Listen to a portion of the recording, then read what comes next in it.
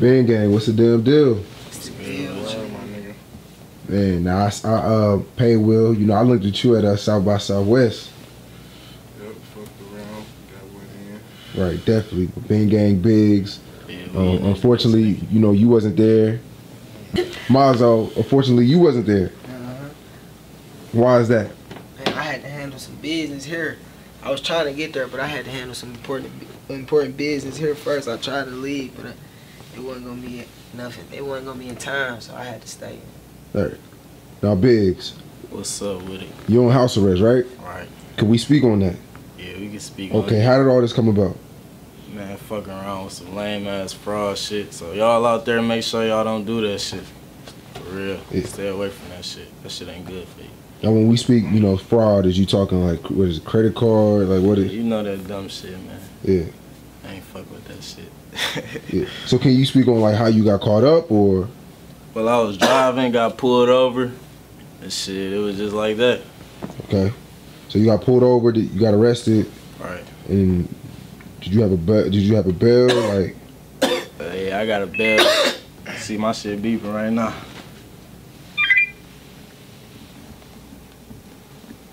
okay. Low battery. Recharge unit. Real nigga blues, you know. You know. Real nigga blues, you know. All right. So wait. So you get arrested, then what? Shit, I got arrested, went to jail. I was in that bitch for about two, three days, and they let me out that bitch on a writ, thousand dollar writ. Some shit my lawyer set up, got me up out that bitch. Came home, they came back to get me about a year later. So shit, and that's why I'm on house arrest now. Okay. How long you on house arrest for? Shit, uh, I've been on this bitch for nine months, and now I just gotta go to uh, court next month and get sentenced. Okay. So you don't know you could they could put you on probation. They could put me on probation. They could give me a mandatory two years, or they could put a 46 months on top of the two years. Yeah. So, shit, we don't know what we're looking at right now. Praying No. for the best. Yeah, Right now, going through this such going through this situation, is is this something that you think about every day?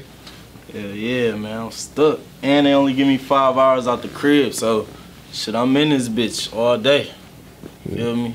19 hours out the day, so shit. Just fucked up for me right now, but my bro's holding it down, paid, dropping CD at the city, Masoe and this bitch with me every other day working, so you know we gonna get it. Yeah. So, I mean, but of course, this is better than, than being in jail, though. You know what I'm saying? You can still shoot videos. You know, you can still do you know a lot of the stuff that you can't do in jail.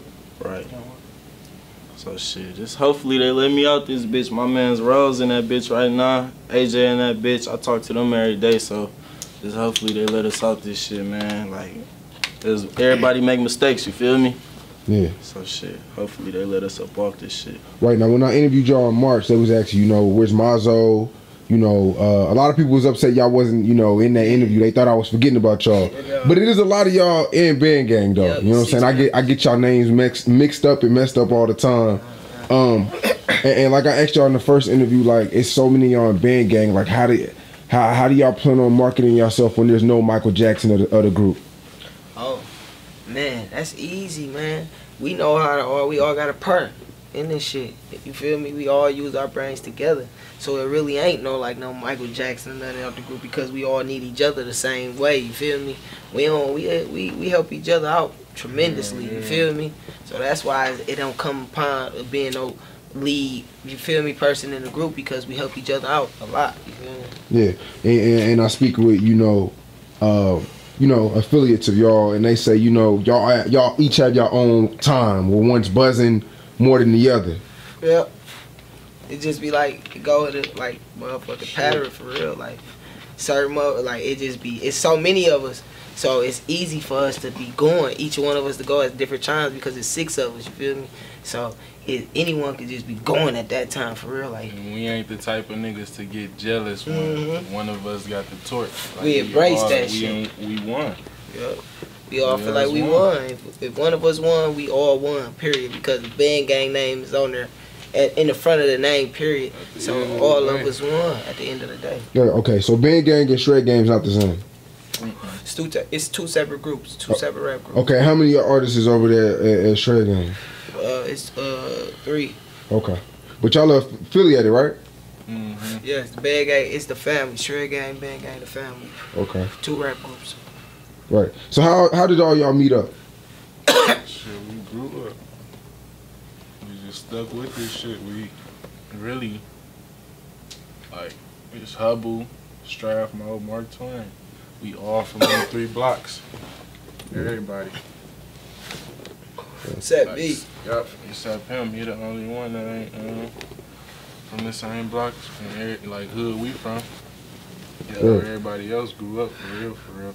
But we all had mutual, you feel me, friends. We all knew the same niggas, so it was always that connection. We always knew each other because we knew the same niggas. Right. Now, Biggs, you you you mighty quiet, man. Like, what's up, man? You, you is you awake? Yeah, I'm up. Yeah. I'm So so sipping. so what's going on? So so with your ankle monitor, like, you know, you said you've been on it nine months. Yeah, man. Like, how does it? You know, does it get tight on you? You know. No, it don't get tight. I can flip that bitch around, do whatever with that bitch, move it up and down, flip it around. Shit, you know. Yeah. Shit's some Go bullshit. get it. Right.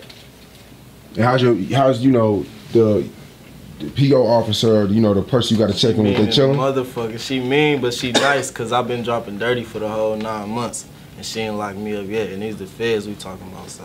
Yeah. She really nice at the same time, but she mean as hell. She can get mean for sure. Yeah. So you can't drink, smoke, none of that. Nah. So like, how are you handling it? You know, when you when your niggas they smoke a lot and, and shit like that. That shit hurt, but I mean, it's better because I can be up though, you know? I ain't, you know? Shit, I can be up. Yeah. Man, that's what's up, man. So I mean, what y'all got coming in the future? Group project. And we really probably about to drop some shit called the the new chapter, all group CD.